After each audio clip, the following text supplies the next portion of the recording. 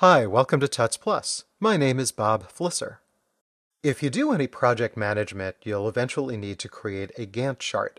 A good Gantt chart illustrates the life cycle of individual tasks that make up a project. If you build a house, for example, a Gantt chart can illustrate the time it takes to procure the site, get permits, buy materials, hire workers, connect utilities, and so on. There are also relationships involved. You can't start work without permits or have workers show up before materials arrive. A Gantt chart will also tell you how much of each task is complete and how much left there is to do. So what I'll show you here is how to create a Gantt chart from a simple bar chart. What you want to start off with doing is enter the data that you see I have here on the screen. You see we have task names, we have starting dates, how many days are completed and how many days are left remaining. Now if you don't want to type this all in, you want to save some time, you could download the file that I've already created for you you can see up here it's called Gantt Starting Data.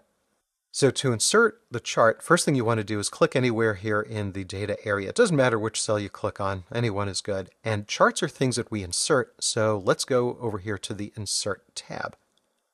Now I'm recording this in Excel 2016 on Windows 10. If you're using a previous version, then some of the icons and dialogues will look a little bit different, but the general concepts are the same. So let's go over here in the Insert tab, we have the Charts section.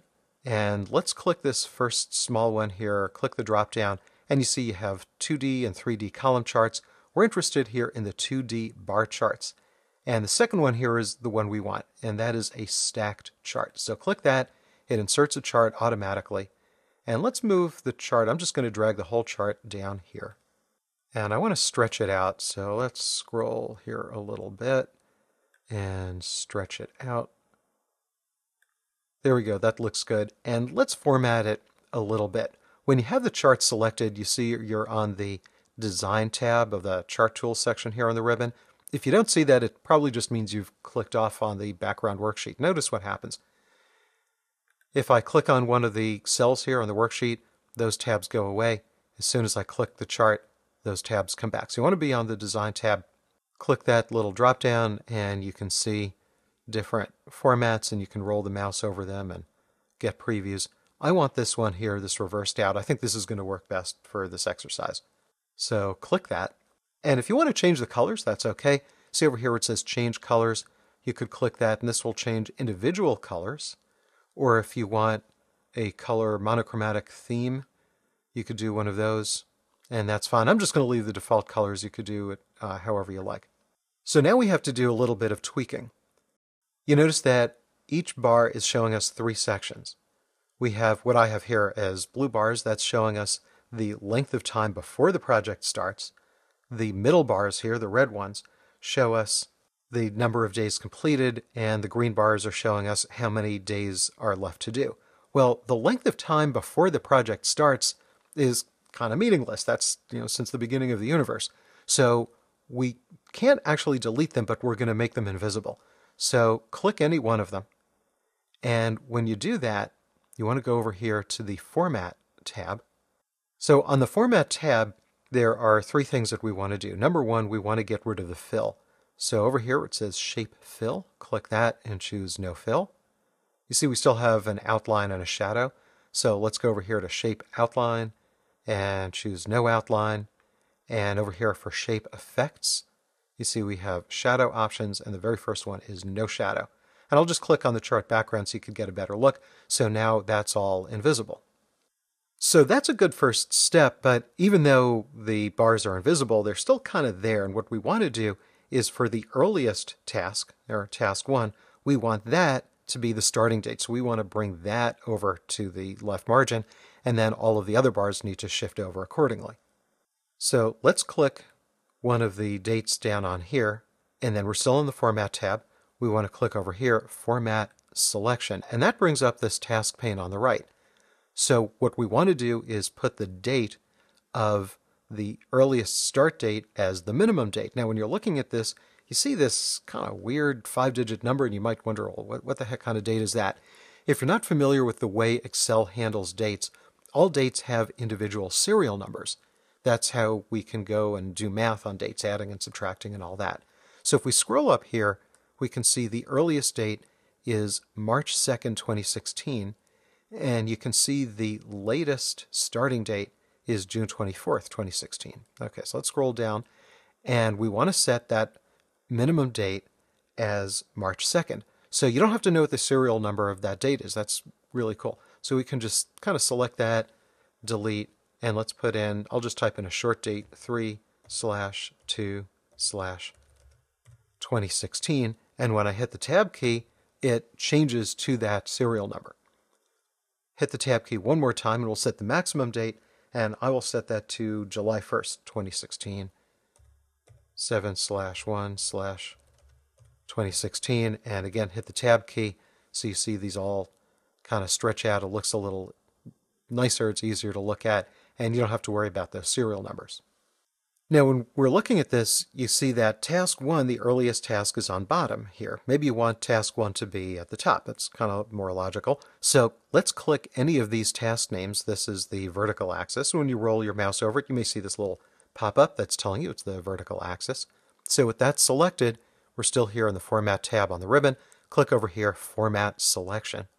And you may need to scroll down here on the task pane. You see where it says Categories in Reverse Order. Click that and now you can see task one is on the top. But when it does that, you notice it puts the date back up on the top of the chart. Maybe you want the dates back down at the bottom. So click any of those dates, and you may see the little pop-up that's telling you it's the horizontal axis. And again, over here, click Format Selection. And here in the task pane, scroll down if you need to. And you see over here it says Labels, there's a little twirly arrow.